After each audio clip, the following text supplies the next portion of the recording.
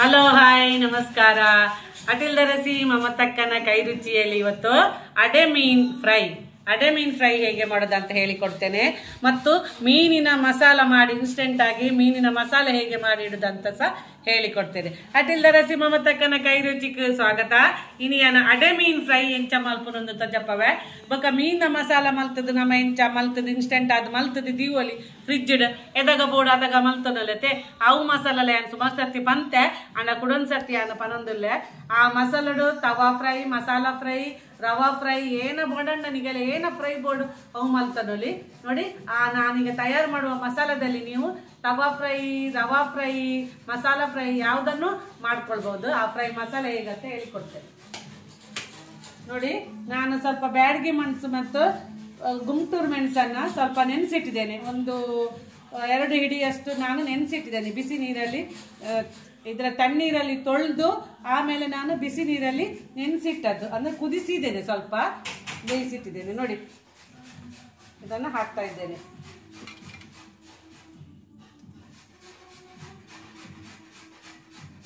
ಈ ನೀರನ್ನು ಚೆಲ್ಬೇಡಿ, ಯಾಕಂದರೆ ನಾನು ಮೆಣಸನ್ನು ತೊಳೆದಿದ್ದೇನಲ್ಲ, ಅದಕ್ಕೆ ಆ ನೀರನ್ನು ಯೂಸ್ ಮಾಡ್ತೇನೆ.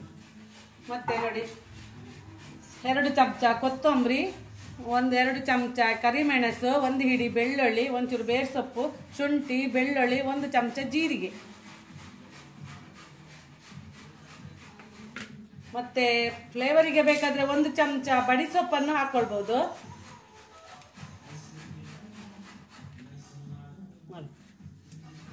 ಇದನ್ನು ಚಂದ ಮಾಡಿ ಪೇಸ್ಟ್ ಮಾಡುವ.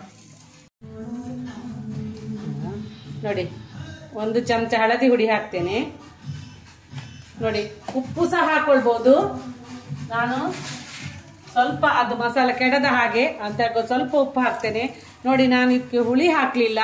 ನೀವು ಹುಳಿ ಸಹ ಹಾಕ್ಬೋದು, ಯಾಕಂದರೆ ಕೆಲವು ಮೀನಿಗೆ ಹುಳಿ ಜಾಸ್ತಿ, ಕೆಲವು ಮೀನಿಗೆ ಹುಳಿ ಕಡಿಮೆ.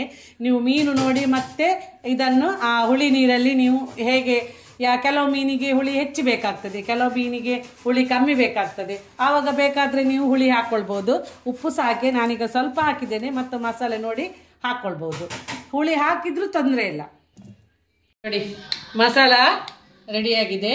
ಇದು ಇದು ಸ್ವಲ್ಪ ಚಪ್ಪೆ ಆದ ನಂತರ ಇದನ್ನೊಂದು ಬೌಲಿಗೆ ಹಾಕಿ, ಬೌಲಿಗೆಲ್ಲ ಒಂದು ಏರ್ ಟೈಟ್ ಕಂಟೈನರ್ಗೆ ಹಾಕಿ ತೆಗೆದಿಡ್ಬೋದು. ತಲೆ, ಮಸಾಲ ರೆಡಿ ಆಗ್ತಂಡು ಒಂದು ಮಸಾಲೆ ವಾ ಮೀನುಗಳು ತವಾ ಫ್ರೈ, ಮಸಾಲ ಫ್ರೈ, ವಾ ಫ್ರೈಕ್ಗಳ ಹಾಕೊಂಡು నేను ಗೆತ್ತದಿಂಡೆ ಸೈ ಎಟ್ಟಿಗಳ ಹಾಕೊಂಡು ಒಂದೊಂದು ಚಪ್ಪೆ ಅವಡು, ಚಪ್ಪ ಬಕ್ಕ ಒಂದು ಡಬ್ಬಿಡು ತೆತ್ತದಿಲೆ ಇತ್ತೆತ್ತುಲೆ ಯಾನು ಮಸಾಲೆಗೆ ಗೆತ್ತಮತ್ತುಲೆ ಯಾನ್ ಪುಳಿ ದಾಯ ಪಾಡ್ದಿಜಿ ಬನ್ನಾಗ ನೋಡಿ.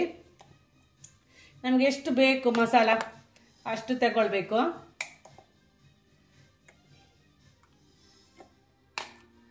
ನೋಡಿ, ಈಗ ಇದಕ್ಕೆ ಹುಳಿ ಬೇಕಿದ್ರೆ ಲಿಂಬು ನೀರು ಸಹ ಹಾಕ್ಬೋದು ಅಥವಾ ಹುಳಿ ನೀರು ಸಹ ಹಾಕ್ಬೋದು. ಮತ್ತೆ ಇದಕ್ಕೆ ಕಾರ್ನ್ ಫ್ಲೋರ್ ಬೇಕಾದ್ರೆ ಕಾರ್ನ್ ಫ್ಲೋರ್ ಸಹ ಹಾಕ್ಕೊಳ್ಬೋದು ಮಸಾಲ ಗಟ್ಟಿ ಹಿಡಿಲಿಕ್ಕೆ ಕಾರ್ನ್ ಫ್ಲೋರ್ ಆಯಿತಾ ಕಾರ್ನ್ ಫ್ಲೋರ್ ಸಹ ಹಾಕ್ಕೊಳ್ಬೋದು ಗೊತ್ತಾಯ್ತಾ? ಅಂದ್ರೆ ಕೆಲವರಲ್ಲಿ ಹುಳಿ ಹಾಕೋದಿಲ್ಲ, ಕೆಲವರು ಲಿಂಬೆ ಯೂಸ್ ಮಾಡ್ತಾರೆ. ಲಿಂಬೆ ಹಿಂಡುವ ಇದಕ್ಕೆ.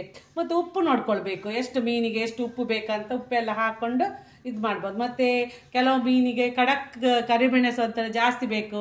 ಕೆಲವು ಸಿಂಗಾಡ ಮೀನು, ಮತ್ತು ಬೇರೆ ಮೀನಿಗೆಲ್ಲ ಬೂತಾಯಿ, ಮತ್ತು ಇದಕ್ಕೆಲ್ಲ ಸ್ವಲ್ಪ ಕರಿಮೆಣಸು ಒಂಚೂರು ಕರಿಮೆಣಸಿನ ಪುಡಿಯನ್ನು ಸಹ ಹಾಕ್ಕೊಳ್ಬೋದು ಮತ್ತು ಈಗ ಮೀನು ಫ್ರೈ ನಾನು ಆಗ ಒಂದೇ ಚಮಚ ಹಾಕಿದ್ದು ನೋಡಿ. ಈಗ ಒಂದು ಚಮಚ ಹಳದಿ ಹುಡಿ ಹಾಕ್ಕೊಳ್ತೇನೆ ಹುಳಿ ನೀರನ್ನು ಹಾಕ್ಕೊಳ್ತೆ ಹಳದಿ ಹುಡಿ ಹಾಕಿದೆ.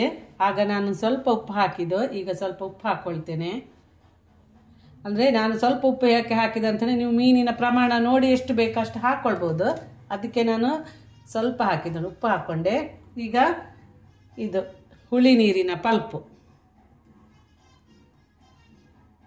ಹಾಕ್ಕೊಂಡು ಚೆಂದ ಮಿಕ್ಸ್ ಮಾಡಿ.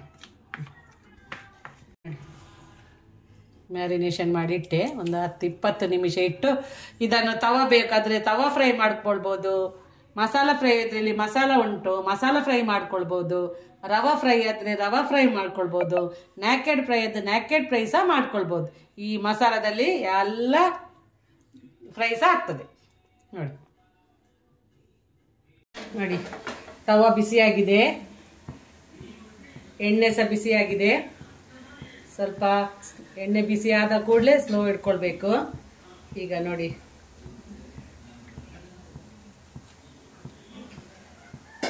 ಒಂದು ಸೈಡಿಗೆ ಹೀಗೆ ಮಸಾಲ ಹಾಕಿ, ಹೀಗೆ ಮಾಡಿ ಹೇಳ್ತೇನೆ ನೋಡಿ, ಹೀಗೆ ಮಸಾಲ ಹಾಕಿ, ಇದನ್ನ ಮಸಾಲ ತುಂಬ ಹಾಕಿದ್ರಲ್ಲ, ಅದನ್ನು ಕೆಳಗಿನ ಸೈಡಿಗೆ ಹೀಗೆ ಇಡಬೇಕು.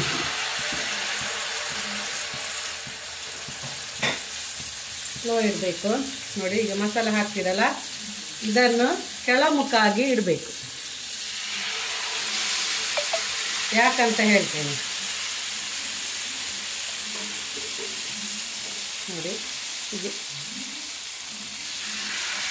ಹೀಗೆ ಈಗ ಮೇಲ್ಮುಖಕ್ಕೆ ನೋಡಿ. ತುಲೆ, ಮಸಾಲ ಪಾಡ್ದಿನ ತಿರ್ತು ಮುಖ ಮಲ್ತು ಪಾಡೋಡು ನಮ್ಮ ತವಕು ಪಾಡ್ನಾಗ.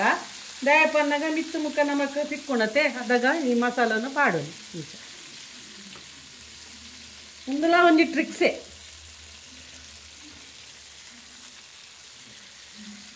ಅಡ್ಡಿಗೆ ಮಲ್ತೋ ಮಲ್ತೋ ಪೋನಾಗ ಸರ್ವಿಸ್ ಆಯ್ನಕ್ಕನೆ ನಮಕ್ ಒಂಜೊಂಜೆ ಟ್ರಿಕ್ಸ್ ಗೊತ್ತಾಪುನ್ ಅಡಿಗೆ ಮಾಡ್ತಾ ಮಾಡ್ತಾ ಹೋಗುವಾಗ ಇಂಟ್ರೆಸ್ಟ್ ಇರಬೇಕು ಮಾಡಲಿಕ್ಕೆ. ಯಾವುದೇ ಆಗಲಿ ರುಚಿಯಾಗಿ ಬರಬೇಕು ಅಂತ ಹೇಳಿದರೆ ಅಡಿಗೆ ಮಾಡಲಿಕ್ಕೆ ಇಂಟ್ರೆಸ್ಟ್ ಇರಬೇಕು. ಅದಕ್ಕೆ ಮೇಕಪ್ ಮಾಡಿದೆ ನಾನು ಬೇರ್ ಸೊಪ್ಪಿನಿಂದ. ಪರಿಮಳ ಬರ್ತದೆ. ಅದಕ್ಕೆ ನೋಡಿ.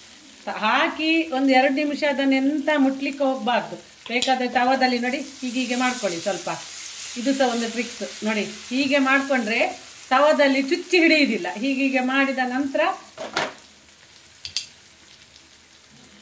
ಇದನ್ನು ಪಲ್ಟಿ ಹಾಕಿ. ನೋಡಿ.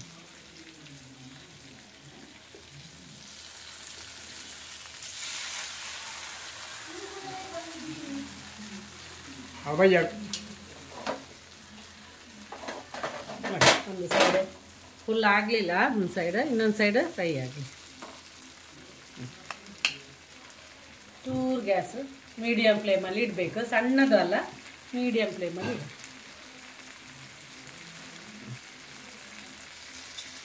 ಫ್ರೈ ಆಗಿದೆ. ಇನ್ನೊಂದು ಸೈಡ್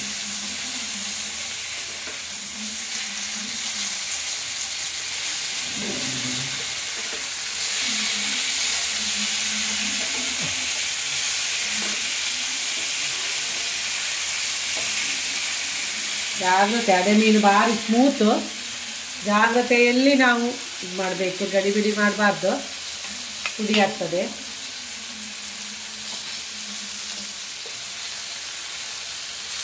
ಮನೆಯಲ್ಲಿ ಪುಡಿ ಆದರೆ ನಾನೇ ತಿನ್ನಬೇಕು ಬೇಡ ಹೇಳ್ತಾರೆ ರುಚಿಗಿಂತ ಜಾಸ್ತಿ ನೋಡಲಿಕ್ಕೆ ಚೆಂದ ಇರಬೇಕು ಅವನಿಗೆ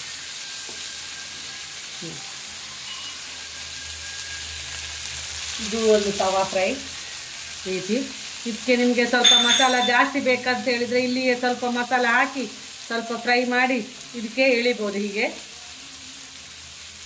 ಅಥವಾ ನೀರುಳ್ಳಿ, ಟೊಮೆಟೊ ಎಲ್ಲ ಹಾಕಿ ಚೆಂದ ಮಾಡಿ, ಶುಂಠಿ, ಬೆಳ್ಳುಳ್ಳಿ ಎಲ್ಲ ಕಟ್ ಮಾಡಿ ಹಾಕಿ ಚೆಂದ ಮಾಡಿ ಫ್ರೈ ಮಾಡಿ ಅದಕ್ಕೆ ಮಸಾಲ ಹಾಕಿ ಅದನ್ನು ಹುರಿದು ಮತ್ತು ಇದನ್ನು ಹಾಕಿದರೆ ನಾನು ನಿಮಗೆ ಯಾವುದು ಕಂಡಿಗೆ ಮೀನನ್ನು ಹೇಗೆ ಮಾಡೋದು, ಕಾಣೆ ಮೀನು ಫ್ರೈ ಹೇಗೆ ಮಾಡೋದು, ಮಸಾಲ ಫ್ರೈ ಹೇಗೆ ತೋರಿಸಿದ್ದೇನಲ್ಲ, ಅದೇ ರೀತಿ ಸಹ ಇದನ್ನು ಮಾಡ್ಬೋದು. ಇದು ತವಾ ಫ್ರೈ.